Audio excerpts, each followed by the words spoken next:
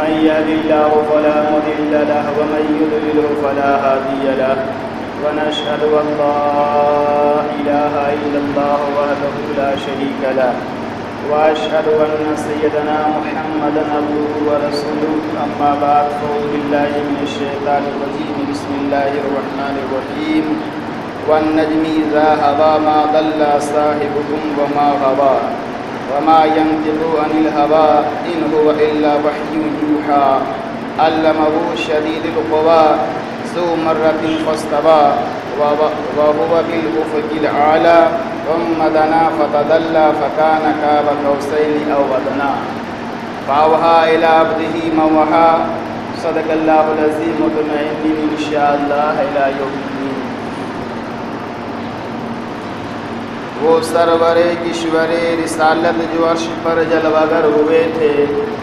वो सरवर ईश्वर रिसालत जो अर्श अर्श पर जलवागर हुए थे। नए निराले तरब के सामा अरब के मेहमान के लिए थे। और वहाँ फलक पर यहाँ ज़मी पर रची थी शादी, मची थी धूमें। आला हज़रत के अशार हैं, वाक़ महराज को। आला हज़रत ने एक मंजूम की शक्ल में अल्लाह ताला ने अपने हबीब के मेराज का तस्करा कुरान शरीफ की तीन मकाम पर किया। पिछले जुमा और सनीचर की रात में मैंने तकरीबन पौने तीन घंटा पंद्रहवें पारा सूर बनी इसराइल की जो पहली आयत करीमा है, कि सुबहान लजी असराबी अब्दी लैला के तहत गुफ्तु कर चुका हूँ। और आज जो आयत करीमा मैंने सत्ताईसवां पारा सूर नजम की तिलावत की है इसमें भी अल्लाह ताला ने अपने प्यारे हबीब, ताजदार अम्बिया सल्लल्लाहु अलैहि वसल्लम के बाब महराज का तस्करा फरमाया है। तो मैंने चाहा कि फिर कुछ गुफ्तगु जो रह गई थी पौने तीन घंटे मुकम्मल ना हो सकी। आज भी नया चेहरा है, नए लोग हैं। तो मैंने चाहा कि कुछ उसकी रोशनी फिर से डाल दी जाए। तो अल्लाह हज़रत फरमा रहे हैं, वहाँ फलक पर, यहाँ ज़मी पर रची की शादी मची थी धूमें उधर से अनवार हँसते आते इधर से नगमात उठ रहे थे। और आगे फरमाते हैं, खुशी के बादल उमंड के आए, दिलों के ताउस रंग लाए, वो नगमय नेमत का समा था, हरम को वजद आ रहे थे। खुदा ही दे सब्र, खुदा ही दे सब्र जान पुरगम दिखाओ क्यों कर तुझे वो आलम, कि जब उनको झुरमुट मिले कि कुदसी जना का दूल्हा बना रहे थे उतार कर उनके रुख का सदका, ये नूर का बट रहा था बाड़ा कि चाँद सूरज मचल मच कि चाँद सूरज मचल मचल कर जबी की खैरात मांगते थे। और आगे फरमाते हैं, वही अब तक, वही तो अब तक छलक रहा है, वही तो जौबन टपक रहा है। नहाने में जो गिरा था पानी, कटोरे तारों ने भर लिए थे। और आगे फरमाते हैं, बचा जो तलबों का धुवन बना वो जन्नत का रंग और रोगन बचा जो तलबों का धुवन बचा जो तलबों का धुवन बना वो जन्नत का रंग और नहाने में जिन्होंने दूल्हा की पाई उतरन, वो फूल गुलजार के, गुलजार नूर के थे और नमाज़ यकसा में था यही सिर। नमाज़ यकसा में था यही सिर कि आया हो मान अव्वल आखिर। सरकार नबी करीम सल्लल्लाहु अलैहि वसल्लम ने मस्जिद अक्सा में हज़रत आदम से लेकर हज़रत ईसा सलाम तक तमाम अम्बिया मुरसलीन की इमामत फरमाई है। ये बात हदीस सही से साबित है। और सरकार का मस्जिद हराम से मस्जिद अक्सा तशरीफ़ ले जाना ये बात कुरान से साबित है। तो नमाज़ अक्सा में था, यही सिर कि आया हो मान अव्वल आखिर। के पीछे हैं दस्त बस्त हाजिर जो आके सल्तनत कर गए थे। तमाम अम्बिया मुरसलीन और नबी करीम सल्लल्लाहु अलैहि वसल्लम की ज़ात के ताल्लुक़ से मैंने एक जुमला कहा तो उसकी तशरी अधूरी रह गई थी कि मस्जिद अक्सा नबी करीम सल्लल्लाहु अलैहि वसल्लम की बशरियत की मेराज है। और आकाए करीम सल्लल्लाहु अलैहि वसल्लम की बशरियत, ये भी नूर है। सरकार की बशरियत, ये भी नूर है। तो जब बशरियत नूर है तो फिर नूरानियत का क्या आलम होगा? इसी से आज मैं अपनी उनवान का तकरीर की शुरुआत कर रहा हूँ। लिहाजा कुछ भी अर्ज़ मारूफ से कबल बारगाह रसाल में दरूद पाक अल्लाह सैदना शफीना हबीबना नबीना मौलाना मोहम्मद वसलम सलातम या अलैहि वसल्लम। अब क्या है अलग अलग टाइप के लोग हैं। किसी ने तो ये कहा कि ये मेराज का जो वाक़ है, ये ख्वाब का मामला था। किसी ने ये कहा, ये मेराज का जो वाक़ है, ये रूहानी था। तो आप जहन नशी कर लें, फिर से इस गुफ्तु के, कि ये सरकार के, ये जो मेराज का वाक़ है, ना ये रूहानी है और ना ये ख्वाब का मामला है। ये मेराज जो है, अल्लाह ताला ने अपने हबीब को जिस्मो जिस्मानियात के साथ कराया है। क्योंकि कुरान करीम की आयत करीमा की जो शुरुआत है, अल्लाह ने फरमाया सुबहान लज़ी तो सुबहान लज़ी अरबी ग्रामर में किस्म का कसम होता है। यानी अल्लाह ताला अपनी ज़ात की कसम खा के बयान फरमा रहा है। पाक है वो ज़ात जो ले गया अपने ख़ास बंदे को रात के थोड़े से हिस्से में। तो परवरदिगार आलम ने अपने ज़ात की कसम याद फरमा करके ये ऐलान फरमा दिया। ज़ाहिर सी बात, मामला छोटा हो तो कोई बहुत बड़ी कसम नहीं खाएगा ना? अगर ये ख्वाब का मामला होता तो कसम की ज़रूरत ही नहीं थी यार। क्योंकि ख्वाब में एक आदमी मक्का, मदीना कहीं भी चला जाए, कोई इसका इनकार नहीं करेगा। सरकार ने कहा, जिसमो जिस्मानियात के साथ गया, काफिरों ने इनकार किया तो अल्लाह ताला ने कुरान में उसका जवाब दिया। ये मेरे हबीब से मत पूछो, उन्होंने कब कहा कि मैं गया? रब्बुल आलमीन कह रहा है, मैं लेकर के गया।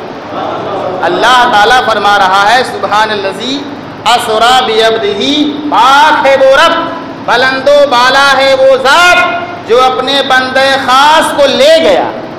तो परवरदिगार आलम ने अपनी ज़ात की कसम याद फरमा करके ये ऐलान फरमा दिया कि ये मामला जिसमो जिस्मानियात के साथ का, और मोजा कहते ही उसे ना, कि जो बंदे के समझ में ना आए, जो इंसान के समझ में ना आए, और अल्लाह का नबी वो करके दिखा दे।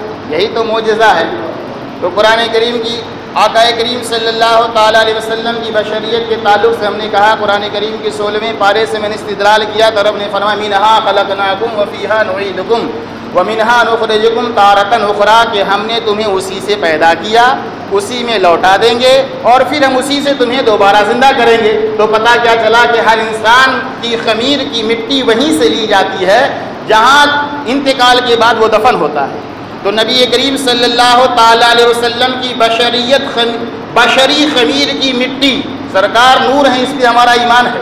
हमारा ईमान, अकीदा यह है कि अल्लाह के रसूल नूर हैं और उसके साथ साथ सरकार की बशरीत ये भी नूर है। सरकार की बशरियत ये भी नूर है इस तौर पर कि ये मुतफ़ा फ़ैसला है, मिनहा खलकनाकुम वैदकुम हर इंसान की खमीर की मिट्टी वहीं से ली जाती है, जहाँ इंतकाल के बाद वो दफन होता है। तो नबी करीम सल्लल्लाहु अलैहि वसल्लम की खमीर की मिट्टी, बशरियत, बशरी खमीर की मिट्टी वहाँ से उठाई गई, जहाँ आज गुंबद खजरा है। है ना? जहाँ आज सरकार का रोसा है। और जब अल्लाह ताला ने सैदुल मलाइका जबरील अमीन से फरमाया कि जाओ, मैं अपने हबीब की बशरी खमीर बनाना चाहता हूँ जाओ, एक मुश्ते खाक उठा के लाओ। सैदुल मलाइका ने पूछा, मौला, कहाँ से लाऊं? परवरदिगार आलम ने फरमाया, मदीने मुनव्वरा से लेकर के आओ। और जब सैदुल मलाइका वहाँ पहुँचे, उससे पहले अल्लाह ने इस ज़मीन के ऊपर जन्नत का टुकड़ा भेज दिया। हदीस पाक है, सरकार ने फरमाया, माँ बैना बैती व बैती, माँ बैना मिम्बरी व बैती, रोजतुम मिन रियासिल जन्ना कि मेरे मेंबर और मेरे घर के बीच की जगह जन्नत की क्यारी है। आप गए हैं, देखें तो ऐसे ही ना बच दिया गया जन्नत की क्यारी। ऐसे ही बोल दिया गया रियासुल जन्ना। नहीं, हकीकत मानों में वो रियासुल जन्ना है। सही मानों में वो जन्नत की क्यारी है। और जन्नत ये नूर है।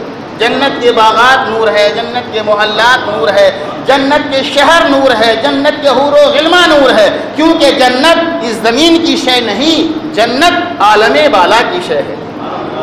जन्नत मलाए आला की शय है तो जन्नत नूर तो वहाँ की ज़मीन नूर वहाँ की मिट्टी नूर, वहाँ की नहर नूर, और जब अल्लाह ताला ने जन्नत का टुकड़ा वहाँ पे रख दिया, अब सैयदुल मलाइका लेकर के जा रहे हैं तो बताओ वो खमीर की मिट्टी कहाँ से ली गई? कहाँ से ली गई? जब अगर तुम इस हदीस को मानते हो कि ये रियासुल जन्ना है, कुरान की सायत को मानते हो, मिनहा खलकना तुम फीहा नतीजा निकालो, तुम बताओ। अब सरकार की बशरी खमीर की मिट्टी कहाँ से ली गई? रियाजुल जन्ना से ली गई ना? और रियाजुल जन्ना नूर है तो सरकार की बशरी खमीर की जो मिट्टी ली गई, वो भी नूर से ली गई। और अल्लाह ताला ने वैसे ही उठा के नहीं बनवा दिया। यहाँ से वो मिट्टी लेके गई।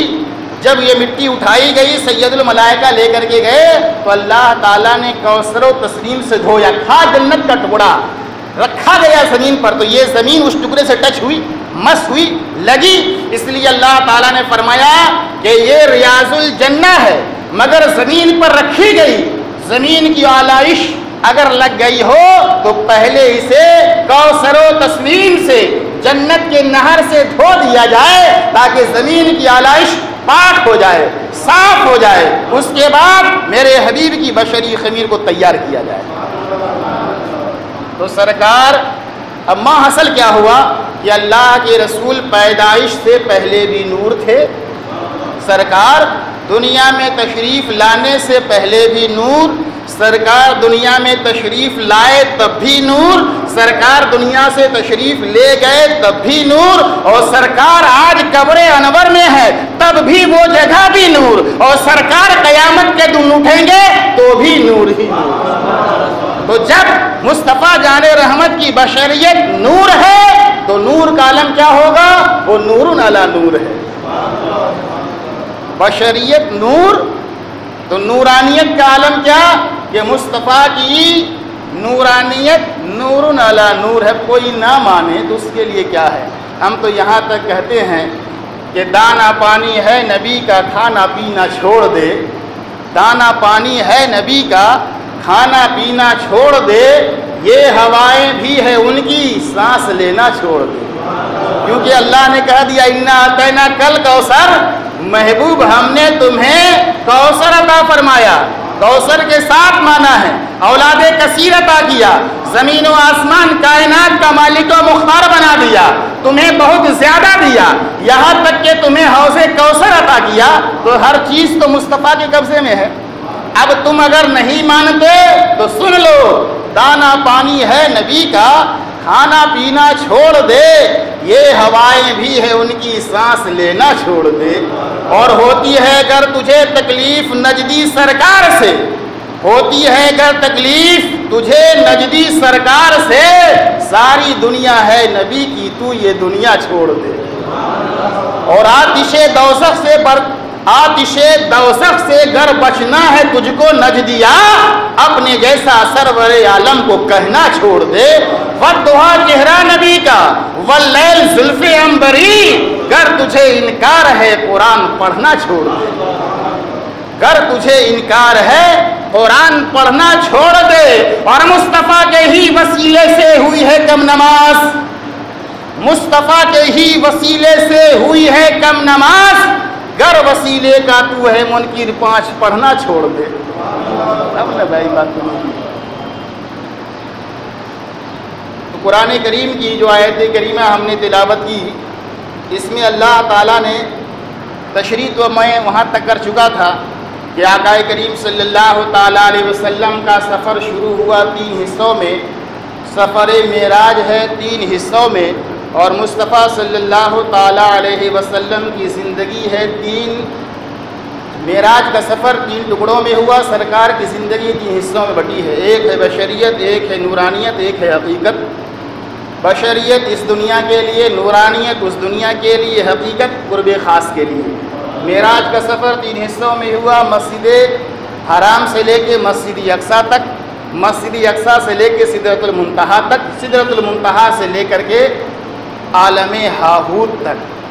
आलम नासूद का सफ़र ख़त्म हुआ, आलम नासूद का सफ़र ख़त्म हुआ, आलम मलकूत का सफ़र शुरू हुआ, आलम मलकूत का ख़त्म हुआ, आलम जबरूत का शुरू हुआ, वो ख़त्म हुआ, आलम जबरूत का सफ़र ख़त्म हुआ तो आलम हाहूत का सफ़र शुरू हुआ। और ये आलम नासूत, मलकूत, जबरूत, हाहूत, ये सब एक आलम है। और कुर्ब ख़ास में जब सरकार अल्लाह की ज़ात के करीब होते रहे, करीब होते रहे, कुर्ब ख़ास में, आलम हाहूत में जब कुछ भी नहीं तो फिर हर पर्दे पर, हर इस पे रब की ज़ात का जलवा चढ़ता रहा। आलम सफ़र में, मेराज में, आलम हाउत में कुछ भी नहीं, नूर ही नूर। कोई सवारी नहीं, नुमाइंदा ख़ास भी नहीं, बुराक भी नहीं, रफरफ भी नहीं, नूर का हाला भी नहीं, नूर का तख्त भी नहीं कोई फरिश्ता नहीं, कुछ भी नहीं। रब की ज़ात से करीब होते गए और हर एक रब की जलाल का, रब की ज़ात का सिफात का नूर मुस्तफ़ा जान रहमत सल्लल्लाहु अलैहि वसल्लम की ज़ात सिफात पे चढ़ता गया, सिर्फ़ एक फ़र्क रह गया। जिसे वाजह करना बहुत ज़रूरी है। जिसे समझना बहुत ज़रूरी। सारे पर्दे हटा दिए गए। सिर्फ़ एक फ़र्क रह गया एक पर्दा रह गया वो ये कि वो माबूद था ये अब्द था। वो अल्लाह है ये बंदा था। उलूहियत का एक पर, पर्दा रह गया एक फ़र्क रह गया ये परवरदिगार आलम अल्लाह है और मुस्तफ़ा जान रहमत सल्लल्लाहु अलैहि वसल्लम उसके बंदे हैं। ये उलूहियत का फ़र्क बाकी तमाम बातें परवर दिगार आलम ने अपनी हबीब ताजदार अम्बिया सल्लल्लाहु अलैहि वसल्लम को अता फरमाई। अब मेराज की एक ख़ास बात सैदुलमलाइका ने कहा, जब सरकार मस्जिद हराम से निकलने लगे, तमाम नबियों को इतला भेज दी गई कि मस्जिद अक्सा में इमामत होने वाली है, तमाम अम्बिया मुरसलिन वहाँ जमा हो जाए तो हज़रत मूसा सलाम ने दो अर्ज़ी पेश की थी, कबूल हो गई, मस्जिद अक्सा में नमाज़ हो गई। जब मस्जिद अक्सा से सफ़र शुरू हुआ, आसमानी दुनिया का फरिश्तों ने एक अर्ज़ी पेश कर दी, दो अर्ज़ी पेश की परवरदिगार आलम ने वो अर्ज़ी कबूल फरमा ली। कि फ़रिश्तों की वो इल्तिजा कबूल हो गई। और सिदरतुलमतहा पे सैदुलमलाइका हज़रत जबरील अमीन ने भी एक अर्ज़ी पेश की थी। वो अर्ज़ी ये थी कि जब हज़रत जबरील रुक गए और मुस्तफ़ा जान रहमत सल्लल्लाहु अलैहि वसल्लम ने फरमाया कि जबरील चलो, आगे बढ़ो। कहा, या रसूलल्लाह, यकसर मोए बरतर परम फ़रोग तजल्ला बसोजत परम। अगर एक बाल के बराबर भी आगे बढ़ गया तो मेरे बालों पर जल जाएँगे। तो या रसूल आप तशरीफ़ ले जाइए। तो अल्लाह के रसूल ने फरमाया, जबरील, कोई हाजत हो तो कहो, कोई ज़रूरत हो तो कहो। इसलिए कि जब नबी करीम सल्लल्लाहु अलैहि वसल्लम का नूर हज़रत इब्राहीम सलाम की पेशानी में जगमगा रहा था और नमरूद ने हज़रत इब्राहीम सलाम को आग में डालने की कोशिश की, इबलीस ने नमरूद के ज़रिए हज़रत इब्राहीम सलाम को आग में डालने की कोशिश की। उस वक्त जब हज़रत इब्राहीम सलाम मंजनिक में तशरीफ़ फरमा है, लम्हे में बस आग के अंदर जाने वाले हैं। फरिश्ता कई किस्म का आया इजाज़त लिया, चला गया, आपने बारहा सुना होगा। चला गया कोई इजाज़त आखिरी मरहले में, बस अब आग में जाना है, आखिरी घड़ी है। आखिरी मरहला है सैदुल मलाइका हज़रत जबरील अमीन हाजिर बारगाह होते हैं। अर्ज़ करती इब्राहिम खलील्लाह ए अल्लाह के पैगंबर ए अल्लाह के खलील, अब आप आग में तशरीफ़ ले जा रहे हैं, आखिरी घड़ी चल रही है, इजाज़त दीजिए, कुछ हाजत है। कोई ज़रूरत हो तो कहो। इसलिए कि मैं वहाँ जाता हूँ जहाँ कोई नहीं जाता। सैदुलमलाइका ने हज़रत इब्राहीम सलाम की बारगाह मरीज़ा पेश किया कि अल्लाह के खलील, अगर कोई हाजत है, कोई ज़रूरत है तो मुझे बताइए। इसलिए कि मेरा मकाम रब के बहुत करीब है। मैं सिदरतुलमतहा जाता हूँ, जहाँ कोई नहीं जा सकता। हज़रत इब्राहिम सलाम ने कहा, हाजत तो है, मगर तुमसे नहीं जानता है वो मेरा रब जलील, अब आग में तड़पता है उसका खलील। हाजत तो है, मगर तुझसे नहीं, मगर सैदुलमलाइका ने इतना कह करके हज़रत इब्राहीम सलाम की ज़ात पे एहसान किया ना कि कोई इजाज़त कोई ज़रूरत हो तो कहिए। उस वक्त हमारे आका का नूर हज़रत इब्राहीम सलाम की पेशानी में जगमगा रहा था। दुनिया क्या समझती है कि नमरूद ने हज़रत इब्राहीम सलाम के नमरूद के ज़रिए इबलीस ने हज़रत इब्राहीम सलाम को आग में क्यों डलवाया? और इब्राहिम सलाम को तो जलवाना एक बहाना था। हकीकत में नूर मोहम्मदी को जलाना था। मगर उस नूर की रहमत का करिश्मा था कि इब्राहिम आग में पहुँचे तो अंगारे फूल बनकर कदम चूमते हुए नज़र आए। कहा, हज़रत इब्राहिम सलाम ने कोई हाजत नहीं है तो मेराज की रात अल्लाह के रसूल सल्लल्लाहु अलैहि वसल्लम अपने जद्द अमजद, हज़रत इब्राहीम खलीलुल्लाह के ऊपर जो एहसान किया था सैदुल मलाइका ने, हज़रत इब्राहीम सलाम ने कहा, तुझसे नहीं। तो मुस्तफ़ा जान रहमत ने कहा कि जबरील मेरे जद्द अमजद से तुमने कहा था, मेरा मकाम सिदरतुल मुंतहा है, मैं रब से बहुत करीब हूँ, मैं वहाँ जाता हूँ जहाँ कोई नहीं जा सकता। जिबरील, सुन लो, मैं आज वहाँ जा रहा हूँ जहाँ तू भी नहीं जा सकता। कोई हाजत है, कोई ज़रूरत है, कोई आरज़ू है तो कहो। तो जिबरील ने कहा कि, या रसूल एक चीज़ की मंसूरी दिलवा दीजिए। अल्लाह की बारगाह से इस चीज़ की इजाज़त दिलवा दीजिए कि जब कल क़यामत के दिन आपकी उम्मत गुजर रही हो पुलसरात के ऊपर से, ऐसे मरहले में जब आपकी उम्मत की बारी आए तो जबरील का पर फर्श बन जाए।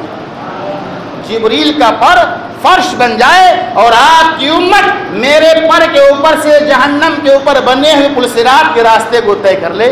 इसीलिए तो आला हज़रत बयान फरमाते हैं पुल से उतारो राह गुसर को खबर न हो और जिबरील पर बिछाए तो पर को खबर न हो। और जब उम्मत गुजर रही होगी, उस वक्त कालम क्या होगा? सरकार फरमाएँगे, अहले सिरात रूहे अमी को सबर करे, अहले सिरात रूहे अमी को खबर करे, जाती है उम्मत नबवी पर फर्श करे। तो अल्लाह तबारक वाली की बारगाह से मुझे ये इजाज़त, ये मंसूरी दिलवा दीजिए। कुर्ब ख़ास में परवरदिगार आलम ने जब अपने हबीब ताजदार अम्बिया सल्लल्लाहु अलैहि वसल्लम को बुलाया, कुरान की जो आयत करीमा है तुम मदना फ़तदल्ला, फिर करीब हुआ, और करीब हुआ फ़का नकाब कौसैन, दो हाथ का फासला, दो कमान का फासला रह गया। अवदना नहीं, उससे ज़्यादा भी करीब, बहुत सब करीब, सिर्फ़ एक फ़र्क याद रखिएगा। उलूहियत का अबदियत का, कि वो मबूद था, ये अब्द था। वो अल्लाह, ये बंदा। वो परवर दिगार आलम, अहकमुल हाकिमीन, मालिक हकीकी, और ये उसके रसूल आज़म। सिर्फ़ ये तो और परवरदिगार आलम ने ऐसे मरहले में अल्लाह के रसूल सल्लल्लाहु अलैहि वसल्लम ने अपनी उम्मत को याद फरमाया। किस्मत पे नाज करो कुर्ब ख़ास में हज़रत जबरील अमीन के बारे में अल्लाह के रसूल सल्लल्लाहु अलैहि वसल्लम ने इरशाद फरमाया कि अल्लाह, तूने सैदुल मलाइका को सात सौ पर अता किए, सात सौ बाजू अता किए हैं। और दो पर का हाल ये है कि अगर जिब्रील फैला दे, दो बाजू। अल्लाह ताला ने हज़रत जबील को सात सौ बाजू, सात सौ पर अता फरमाए हैं। सरकार फरमा रहे अल्लाह, तूने सैयदुल मलाइका जिब्रील को सात सौ पर सात सौ बाजू दिए हैं। दो बाजू का हाल यह है कि जिब्रील फैला दे तो मशरक से मगरब से मशरक को ढाक ले। और ताकत इतनी है, चाहे तो सातों तरफ़ ज़मीन को दो हाथ, दो बाजू से उठा ले।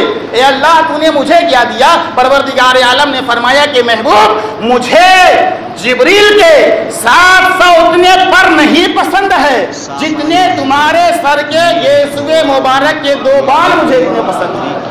यही ना होता है कि जिब्रील जब पर को बिछाता है, मशरक से मगरिब को ढाक लेता है। मगर ए हबीब, कयामत का दिन होगा, लोग नफसी नफसी क्या लम्हा होंगे, तुम्हारी उम्मत हैरान और परेशान होगी। इसी तुम्हारे जैसे शफात के सदके में हम तुम्हारे गुनाहगार उम्मत के गुनाहों को माफ़ फरमा देंगे। शाह ने अर्ज़ की उम्मत गुनाहगार है शाह ने अर्ज़ की उम्मत गुनाहगार है। बख्श दे मेरे मौला, तू तो गफ्फार है। फिर हक ने कहा, माह पारे नबी मेरे चाँद, मेरे प्यारे नबी, इतना घबरा न है, मेरे प्यारे नबी, इतनी जल्दी ही क्या आज की रात है? अरे लुत्फ तो जब है कि देखेंगे सारे नबी, तेरी शफात पे होगी रहमत मेरी और कयामत के दिन बख्श दूँगा, उम्मत तेरी। तुझसे वादा मेरा आज की रात है।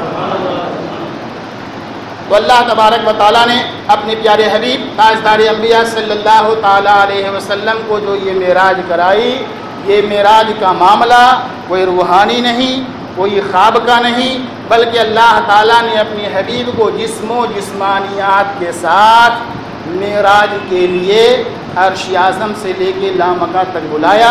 इसके लिए कुरान की आयत अहादी से सही साबित है। परवरदिगार आलम की बारगाह में दुआ है।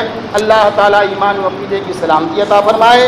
एक दिन सिरातमस्तकीम पर चलने की तोफ़ी अता फरमाए। बुजुर्गान दीन अलिया कामिलीन से बेपनाह मोहब्बत करने की तोफ़ी अता फरमाए। वमा अलैना जो लोग सुन्नत नमाज़ न पढ़े, सुन्नत पढ़ लीजिए